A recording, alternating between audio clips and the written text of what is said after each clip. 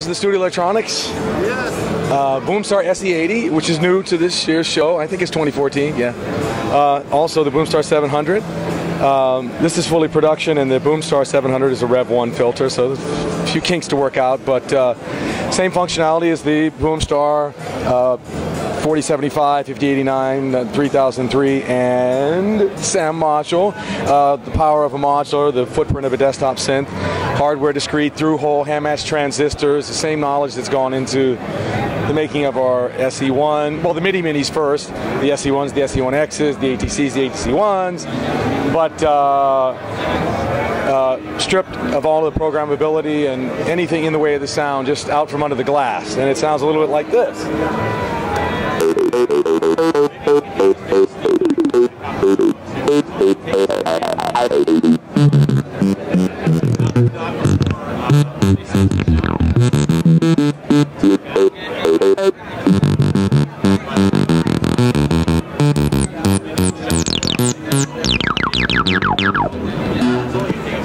So that dual resonant filter is quite powerful. Uh, we sort of kicked up the ramps quite a bit, uh, so uh, it's, it's unusual here at the CS80 in such a an impolite mood.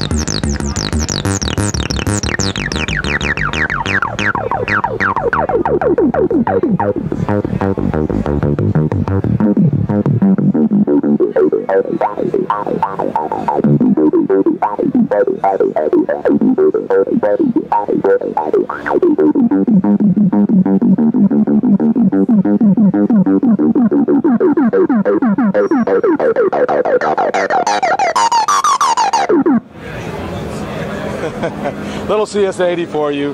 Um, a very dense filter board, but we managed to put it together in, uh, in a very clean, in very clean arrangement, and uh, so that um, is also there's also a, a Boomstar 700 here. See a little bit of that.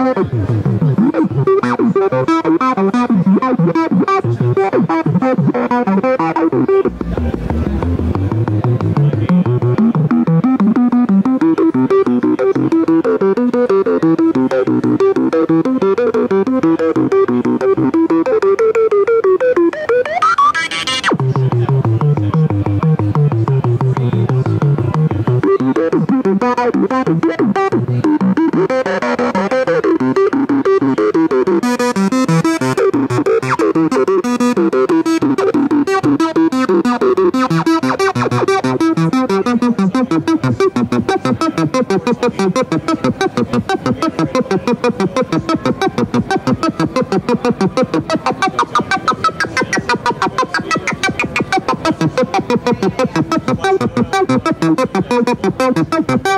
you.